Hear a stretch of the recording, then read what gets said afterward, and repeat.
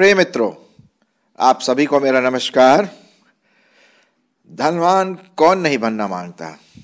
धनवान मैं भी बनना माँगता हूँ, शायद आप भी धनवान बनना मांगते हैं। हम सबों को पैसों की बहुत ज़रूरत होती है और पैसा हमारे जीवनचर्या में एक लेन देन का कार्य करता है। वो कॉइन के रूप में हो या पेपर के रूप में हो, पैसा हमारे लिए बहुत ज़रूरी है। खाने के लिए हमें पैसा चाहिए, कपड़ों के लिए पैसा चाहिए, घर के लिए पैसा चाहिए, हर चीज़ के लिए पैसा चाहिए। अगर आपको ट्रेन में जाना है तो पैसा चाहिए, बस में जाना है तो पैसा चाहिए। मतलब अपने जीवन को चलाने के लिए पैसों की बहुत ज़रूरत पड़ती है। और अच्छा है अगर हमारे पास पैसा है तो हम ये कर सकते हैं। कुछ बेचारे ऐसे गरीब व्यक्ति हैं जो शायद पैसा उनके पास ना होने के कारण से कई चीज़ों से वे अभाव में रहते हैं। उनके पास शायद अच्छा खाना ना हो, अच्छे कपड़े ना हो। खैर, परमेश्वर ने हमें आशीषित किया, उसका धन्यवाद हो। लेकिन कभी कभी क्या होता है कि जो ज़्यादा धनवान बनना मांगते हैं, वो कभी कभी धनवान बनते बनते मूर्ख भी बन जाते हैं। और इसी बात को ध्यान में रखते हुए प्रभु परमेश्वर ने एक बहुत अच्छा दृष्टांत दिया, जो मैं आपके सामने पढ़ने की कोशिश करूँगा। ये पाया जाता है लू का रचित सुसमाचार, उसका बारवा अध्याय और तेरह पद से। फिर भीड़ में से एक ने उससे कहा, हे गुरु, मेरे भाई से कहे कि पिता की संपत्ति मेरे साथ बांट ले। उसने उनसे कहा, हे मनुष्य, किसने तुम्हें तुम्हारा न्याय या बांटने वाला नियुक्त किया है? और उसने उससे कहा, चौकस रहो और हर प्रकार के लोभ से अपने आप को बचाए रखो, क्योंकि किसी का जीवन उसकी धन संपत्ति की बहुतायत से नहीं होता। फिर से मैं पढ़ूँगा दोस्तों क्योंकि उस किसी का जीवन उसकी संपत्ति की बहुतायत से नहीं होता। उसने उनसे एक दृष्टांत कहा, किसी धनवान की भूमि में बड़ी उपज हुई। तब वह अपने मन में यह विचार करने लगा, मैं क्या करूँ? क्योंकि मेरे यहाँ जगह नहीं है, अपनी उपज इत्यादि रखूँ। और उसने कहा, मैं यह करूँगा। अपनी बखारियाँ तोड़कर उन्हें बड़ी बनाऊँगा। और वहाँ अपना सब अन्न और संपत्ति रखूँगा। और अपने प्राण से कहूँगा कि मेरा प्राण तेरे पास बहुत वर्षों के लिए संपत्ति है। चैन कर, खा, पी, सुख से रहे।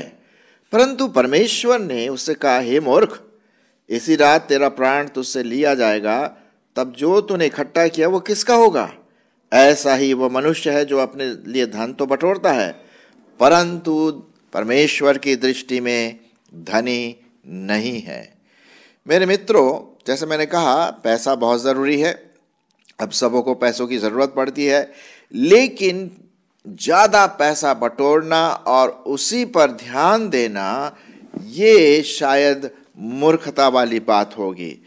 परमेश्वर ने कहा है अपने वचन में कि हम अपना जितना भी काम कर सकते हैं, हमें उन्हें करना है और परमेश्वर उस पर क्या देगा? आशीष देगा। हमारे जीवनों में हमारी ज़रूरतों को पूरा करेगा। एक और जगह पर परमेश्वर के वचन में जो लिखा हुआ मैं आपके सामने पढ़ूँगा कि याकूब की पत्री और उसका पांचवा अध्याय और पहले पद से, हे धनवानो, सुन तो लो, तू अपने आने वाले क्लेशों पर चिल्ला चिल्ला कर रो। तुम्हारा धन बिगड़ गया है और तुम्हारे वस्त्रों में कीड़े खा गए हैं। तुम्हारे सोने चांदी में काई लग गई है।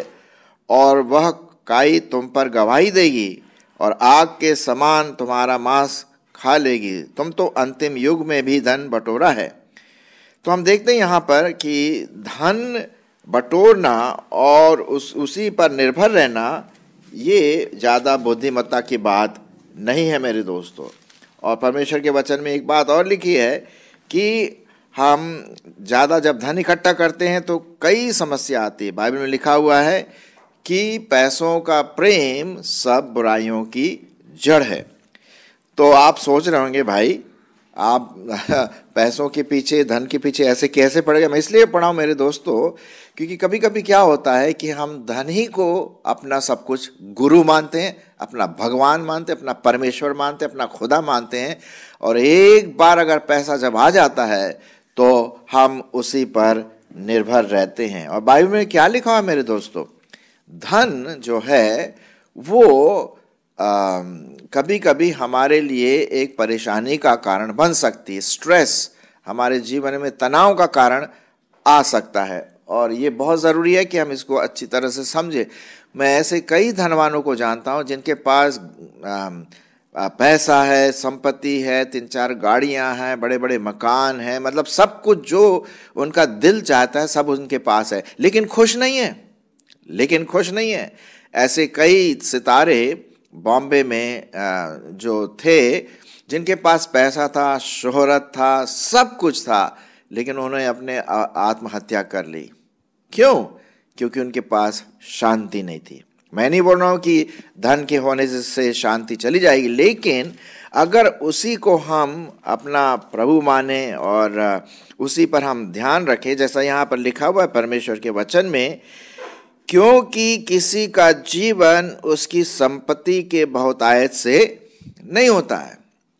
संपत्ति क्या है? ये कीड़ा है कीड़ा खा जाएगी और पत्ते रह जाएँगे ऐसे ही। मुझे याद है एक समय की बात है कि मैंने अपना कुछ पैसा आ, पेपर वाला पैसा मेरे ख्याल में बीस या पचास रुपए एक अपने कबड़ में रखा और एक साल के बाद आ, मैं अचानक से उसको खोला। जब मैंने उस कपड़ को खोला तो पता पड़ा जो पैसा मैंने रखा था वो पूरा आ, जो आ, क्या बोलते हैं वाइट एंड वो खा लिया। अब वो पैसा कोई काम का नहीं। उसके दो तीन टुकड़े हो गए। कोई काम का नहीं। पहले वो काम का था अब कोई काम का नहीं। इसी प्रकार मेरे दोस्तों इन पैसों में काई लग जाती हैं। इन इन पैसों को कीड़ा खा सकता है। हमारे पास इतना पैसा होना चाहिए जिससे कि हम अपने ज़रूरत चीज़ों को पूरा कर सकें। लेकिन ज़्यादा पैसा रहना भी हमारे लिए बड़ा घातक हो सकता है। लिखा हुआ है, परमेश्वर के वचन में बहुत साफ़ रीति से कि हम जो पैसा है, धन है, उस पर अपना भरोसा न रखें। क्योंकि किसी ने कहा है, पैसा क्या है? हाथ का महल है। आया और निकल गया। आया और निकल गया। लेकिन साहब, ज़िंदगी का क्या होगा? ज़िंदगी जीवन जो परमेश्वर आपको और मुझको देता है एक बार हमारे जीवनों में आता है। अब यहाँ पर जो हम देखते हैं इस व्यक्ति ने धनवान व्यक्ति ने क्या किया? अरे साहब खूब पैसा जमा किया। उसकी खूब खेती बाड़ी हो गई। बहुत अच्छा है। मतलब अपने मन में सोच रहा था कि वाह वाह बस अब मज़ा करो। आ, पैसा बहुत है उपज बहुत है खेती बहुत हुई और मज़ा ही मज़ा करो। चैन से खा पी और आराम से रहे। पीछे से एक आवाज़ आती है, अरे साहब, ओ धनवान मूर्ख, तेरा आज अगर जीवन ले लिया जाए तो ये सब किसका होगा? किसका धन होगा? किसकी उपज होगी? वो इस दुनिया में सब कुछ छोड़ करके चला जाएगा, सब कुछ। यहाँ तक कि अपना शरीर का एक भाग भी नहीं ले जा सकता ऊपर परमेश्वर के पास। जी हाँ सब कुछ यहाँ छूट जाएगा। तो क्यों हम उस धन पर विश्वास करें जो खत्म होने वाला है? जो खत्म होता है। हम उतना ही उतना ही धन इस्तेमाल करें जितना हमें ज़रूरत पड़ता है। यहाँ पर लिखा हुआ है परमेश्वर के वचन में कि यदि तू सारे जगत को प्राप्त करे हम्म सारे जगत को प्राप्त करे, एक से एक चीज़ें अपने घर में जमा कर लो, हैं? अच्छे से अच्छा बंगला, नौकर, चाकर, बाग, बगीचा, अरे साहब, यदि तू सारे जगत को प्राप्त करे और अपने प्राण की हानि उठाए तो उसे क्या लाभ होगा? उस व्यक्ति को क्या लाभ होगा? वही हो गया। धनी तो है, लेकिन वो धन जो है ना, वो मूर्खता बन गया उसके लिए, मूर्ख धनी बन गया। उसने अपना पैसा, अपना धन, अपनी संपत्ति सही जगह पर नहीं लगाया, अपना मन सही जगह पर नहीं लगाया। परमेश्वर के वचन में क्या लिखा है? कि अपना जो धन है, वो स्वर्ग में इकट्ठा करो। तभी आप सही रूप से धनी हो सकते हैं। मैं अभी बताऊँगा कि हम स्वर्ग में कैसे अपना धन इकट्ठा कर सकते हैं। फिर हम देखते हैं यहाँ पर बीसवा पद में, परंतु परमेश्वर ने उसे कहा, हे मूर्ख, इसी रात यदि तेरा प्राण तुझसे ले लिया जाए तो जो कुछ तूने इकट्ठा किया, वो किसका होगा? क्या है कोई जवाब? आप जो सुन रहे हैं मेरे वचनों को, परमेश्वर के वचन को रियली क्या आपका भरोसा, आपका विश्वास, आपका फेथ क्या सिर्फ़ धन पर है? याद रखिए, वो धन गायब हो जाएगा मेरे दोस्तों, हैं? बहुत हम लोग कभी कभी धन कमाने के पीछे इतना भागते हैं, इतना भागते हैं कि भागते भागते बूढ़े हो जाते हैं, लेकिन हम उस धन को इस्तेमाल नहीं कर पाते हैं। अरे साहब इतनी अशांति उससे आती है, है? और स्ट्रेस होता है। हमारे जीवनों में जीवनों में तनाव पैदा होता है। ये क्या है मेरे दोस्तों? परमेश्वर के वचन में लिखा हुआ है कि तुम जो कुछ भी अगर तुम धनी बनना मांगते हो तो आत्मिक रूप से धनी बनिए। आर्थिक रूप से धनी बनने से कोई फ़ायदा नहीं। क्यों? क्योंकि ये धन थोड़े समय का है छाया के समान है आज है कल चला जाएगा और उसका हम इस्तेमाल नहीं कर पाएँगे। फिर इक्कीसवें पद में क्या लिखा हुआ है? ऐसा ही यह मनुष्य भी है जो अपने लिए धन तो बटोरता है, परंतु परमेश्वर की दृष्टि में धनी नहीं है। वो परमेश्वर की दृष्टि में धनी नहीं है। हम में से कई लोग ऐसे होते हैं, मैंने देखा कई लोगों को, पहले तो बहुत अच्छे होते, बहुत पैसा जब उनके पास ज़्यादा नहीं होता बड़े खुश रहते हैं। आ, उनके जीवन में शायद थोड़ा सा वो रहता है कि अरे काश हमारे पास ये होता वो होता तो अच्छा होता। लेकिन जब जैसा ही धन उनके पास आने लगता है तो साहब प्राथमिकता बदल जाती है। परमेश्वर खिड़की से बाहर कर देते हैं अपने जीवन से बाहर कर देते हैं। आ, और परमेश्वर के वचन पर ध्यान नहीं देते जैसे पहले देते थे। अब तो पैसा आ गया ना। पैसा जब आ जाता है तो उस पैसों के नशे में अरे साहब भाई भाई को भूल जाता है। आ, और बेटा माँ बाप को भूल जाता है पैसों के लिए। जी हाँ जब पैसा बहुत होता है तो मूर्खता भी बहुत बढ़ती है दुष्टता भी आती है और स्ट्रेस भी बन जाता है। मेरे दोस्तों मेरे मित्रों मैं नहीं बोल रहा हूँ कि पैसा ज़रूरी नहीं बहुत ज़रूरी मुझे भी पैसों की ज़रूरी है ज़रूरत पड़ती है। मुझे भी पैसों की ज़रूरत पड़ती है।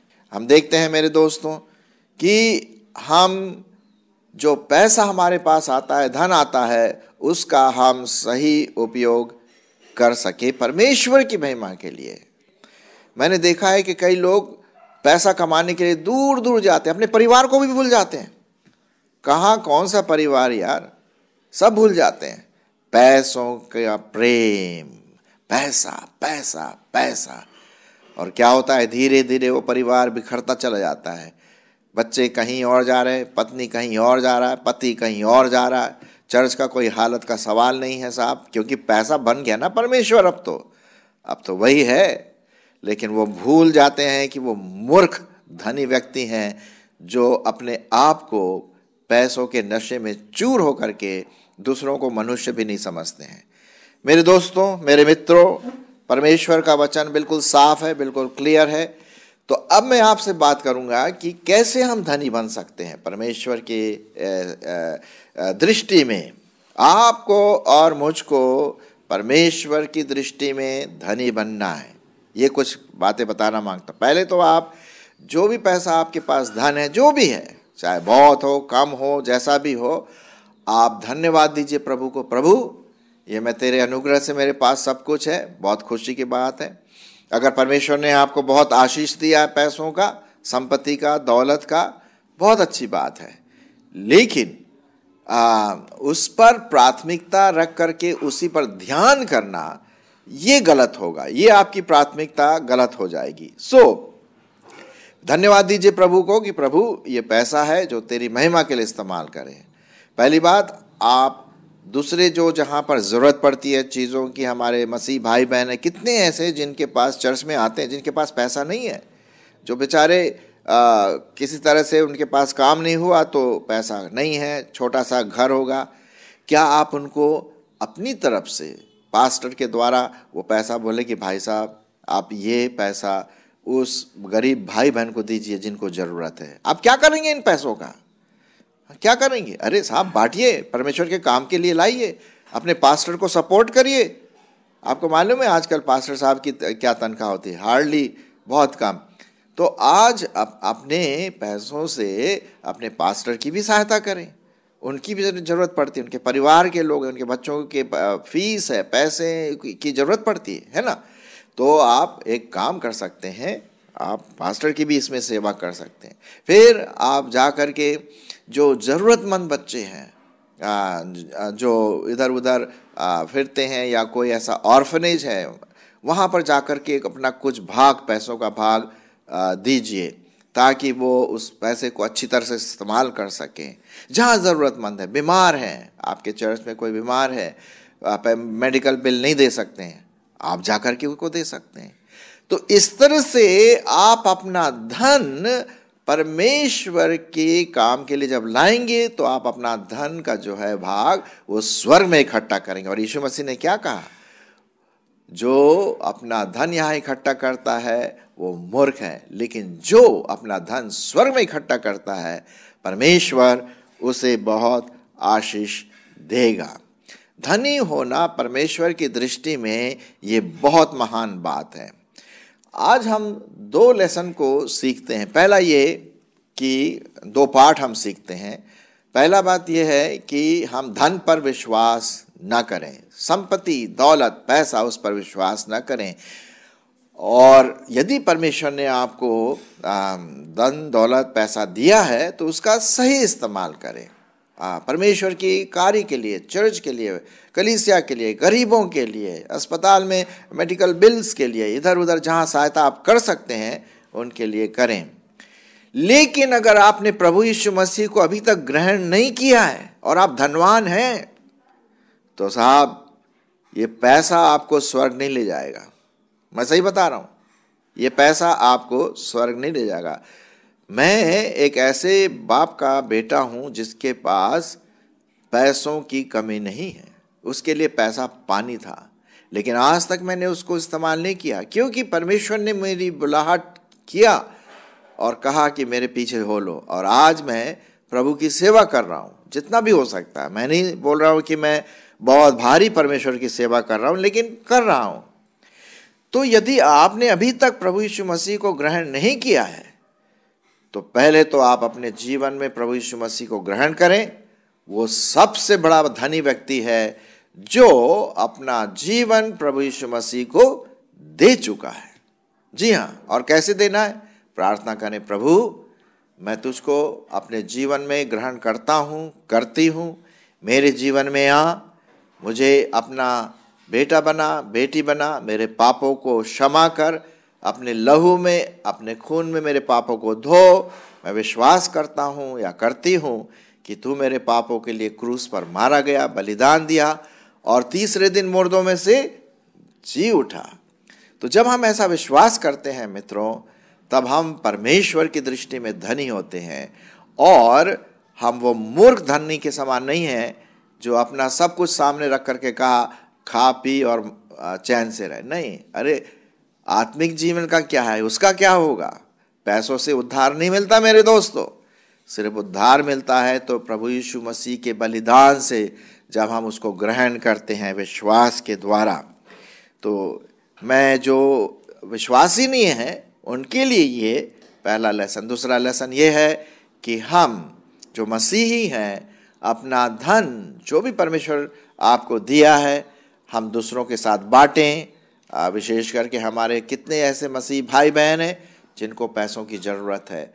आप उनके बैग में, उनके पर्स में पैसा डाल सकते हैं, उनको बिना बताए। और परमेश्वर परमेश्वर से प्रार्थना कर सकते हैं, प्रभु, इनकी अगुवाई कर, इस भाई की अगुवाई कर, इस भाई को आशीष दे। और अगर किसी को पैसों की ज़रूरत है तो आप अपने जो धन परमेश्वर ने आपको दिया है, उसको आप दूसरों के साथ बांटे। इससे क्या होगा? परमेश्वर आपको आशीष देगा और आप परमेश्वर की दृष्टि में एक धनवान व्यक्ति होंगे। क्योंकि लिखा हुआ है, यदि हम पैसों से प्रेम करते हैं तो हम मूर्ख धनी बनेंगे। मैं फिर से वो भाग आपके लिए सामने पढ़ूँगा। लूका रचित सुसमाचार, उसका ग्यारह अध्याय, और ग्यारह नहीं, माफ़ करना, बारह अध्याय और तेरह पद से। फिर भीड़ में से किसी एक ने उससे कहा, हे गुरु मेरे भाई से क्या है कि पिता की संपत्ति मेरे साथ बांट ले। उसने उनसे कहा, हे मनुष्य, किसने तुझे तुम्हारा न्याय या बंटवारा होने देने के लिए नियुक्त किया है? और उसने उससे कहा, चौकस रहो और हर प्रकार के लोभ से अपने आप को बचाए रखो, क्योंकि किसी का जीवन उसकी संपत्ति से बहुमूल्य नहीं है। कितना अच्छा शब्द है। इस पर आप ध्यान दीजिए। फिर आगे हम देखते हैं उसने उनसे एक दृष्टांत कहा किसी धनवान की मन भूमि में बहुत उपज हुई। तब वह अपने मन में विचार करने लगा, मैं क्या करूँ? क्योंकि मेरे पास तो इतनी भी जगह नहीं जहाँ पर ये सब उपज रख सकूँ।